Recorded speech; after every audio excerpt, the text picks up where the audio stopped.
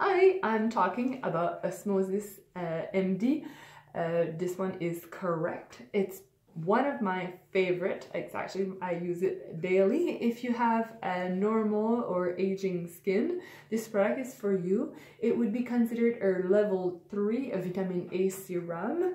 It contains a 0.5% retinaldehyde and the benefit of that would be improve um, or increase the cell the skin cell turnover. So you just have that glowing uh, skin and it's also like anti-aging product. So how I would suggest using this product, um, it's one or two pump um, evening until you're really really comfortable that you don't get have any kind of reaction from the product. Then maybe around two weeks after you can start using it uh, evening and morning.